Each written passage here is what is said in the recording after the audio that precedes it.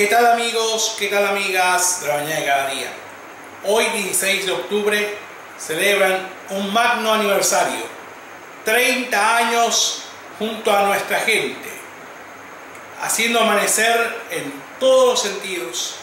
Informando y entreteniendo cada día.